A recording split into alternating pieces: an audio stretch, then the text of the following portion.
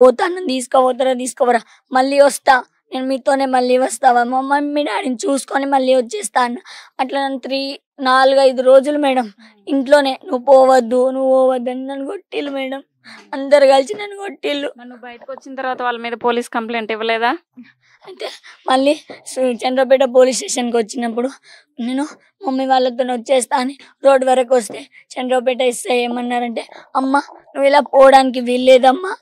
నువ్వు నీ కూతుర్ని మా అమ్మతో నువ్వు నీ కూతుర్ని తీసుకోపోవాలి అంటే నీ కూతురుతోని హైదరాబాద్ వెళ్ళి నీ కూతుర్ని నువ్వు ఇంటికి తెచ్చుకో. నీ కూతుర్ని. మమ్మీ వాళ్ళు ఏమన్నా నా కూతురికి నేను పెళ్ళి చేస్తా అది చేస్తా ఇది చేస్తా అని. వాళ్ళ కూతురు వాళ్ళకి కావాలి మేడం. వాడికి తినడానికి తిండి లేదు ఉండడానికి ఇల్లు లేదు కంట్రోల్ బియ్యం కొనుక్కోవడానికి కూడా డబ్బులు లేవు మేడం. కంట్రోల్ బియ్యం. నేను రెండు నెలలు ఒక్క బుక్క అన్నం తినకుంటున్నా ఒక్క మెతుక అన్నం తినకుంటున్నా మేడం. నా తల్లిదండ్రులు నన్ను చిన్నప్పటి నుంచి సన్న బియ్యం పెట్టి పెంచి అక్కడ కంట్రోల్ బియ్యం తింటావా చస్తావా? తింటావా చస్తావా అంటే అది గొంతు కూడా దాటట్లేదు మేడం ఆ బియ్యం నాకు. ఆ బియ్యం నాకు గొంతు కూడా దాటట్లేదు. తర్వాత మమ్మీ ఇంటికి తీసుకొచ్చింది. Mummy daddy. మీ తమ్ముడు ఏం చేస్తుంటాడు? Inter second year CEC. Inter second year చదువుతున్నాడు.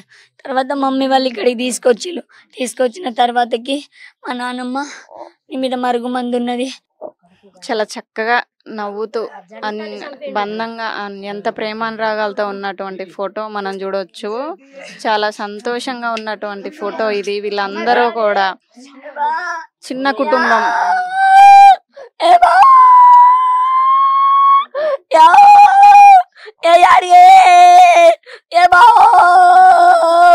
બંજિયાઓ તારો અધારા જાડો મોઢો બુલાને મગુ બંજિયાઓ મારે મારે યારી બાબે ને દેગો ની આવો મારે યારી રો કધારા જાડો મોઢો જયાઓ મારો બાબે રો એ આવો મારે યારી બાબે રો મુંડે ને દેગો ની યારી કધારા જાડો કધારા હસને મારે યારી બાપ જયાઓ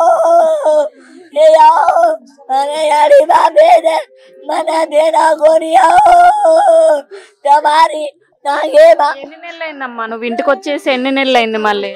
నేను నేను డిసెంబర్లో వచ్చేసిన మేడం. డిసెంబర్ నుంచి అమ్మ నాన్న దగ్గరే ఉన్నావు. అమ్మ నాన్న దగ్గర అమ్మ నాన్న మా అమ్మ నాన్నలతోనే ఉన్నా మేడం. మీ అమ్మని పక్కగా ఉండగానే ముత్తి ఒళ్ళోకి వెళ్ళిపోయింది. అమ్మ నాన్న ఎంత చక్కగా ఎంత నవ్వుతూ ఎంత అందంగా ఉంటారు మేడం. నేను ఎవరి కోసం బతకాలి మేడం? అమ్మ నాన్న మా అమ్మ ఎంత మా ఎంత. ఇది నిందితుడి ఫోటో. ఏం పేరు? అబ్బాయి పేరు? బన్నీ. నువ్వు వెళ్ళి పోలీస్ స్టేషన్లో కంప్లైంట్ ఇచ్చావా? అడిగినాం మేడం సార్ అతన్ని జైలుకి పంపించండి సార్. మా డాడీ నన్ను తీసుకొచ్చిన తర్వాతకి ఒక త్రీ త్రీ ఫోర్ డేస్ తర్వాతకి మళ్ళీ మా తాతయ్య వాళ్ళందరూ వచ్చింది మేడం. నన్ను మా తాతయ్య మా పెదనాన్న వాళ్ళందరూ తీసుకొని వెళ్ళి నేను ఒక మాట అడిగిండే "సే, అమ్మ నువ్వు పోతావా? పోవా అంటే సార్ నేను పోను సార్ నేను పోను అంటే నువ్వు పోవా అమ్మ? అమ్మాయి పోనంటుంది. ఎవ్వరు వచ్చినా కానీ అమ్మాయిని తీసుకోపోరు అతన్ని పిలిపించి సార్. అమ్మాయి నీతో రానంటుంది. నువ్వు వెళ్ళిపో అనేసి పిటిషన్.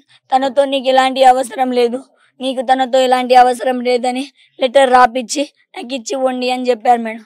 లెటర్ రాపిచ్చి ఇచ్చిన తర్వాత మా డాడీ అన్నాడు మేడం సార్ అతన్ని జైలుకి పంపించండి సార్ అంటే ఆ ఎస్ఐ ఇప్పుడు లేడు. ఆ ఎస్ఐ కూడా హెల్ప్ చేసిండు మేడం వాళ్ళకి. ఆ ఎస్ఐ ఇప్పుడు లేడు. అతను ఏమన్నాడు ఏం అవసరం లేదు. అతను మిమ్మల్ని ఏం చేయడు. నా దగ్గర ఈ ఫైల్ ఈ లెటర్ రాసి ఇచ్చిల్లు కదా. మీరు చచ్చిపోయినా కానీ ఇది స్టేషన్లో ఇట్లనే ఉంటుంది. అతను మీ జోలికి వస్తే అతనికి ఐదు సంవత్సరాలు మీకు ఫోన్ చేసిన ఐదు సంవత్సరాలు జైలు శిక్ష పడుతుంది అనేసి అన్నాడు మేడం.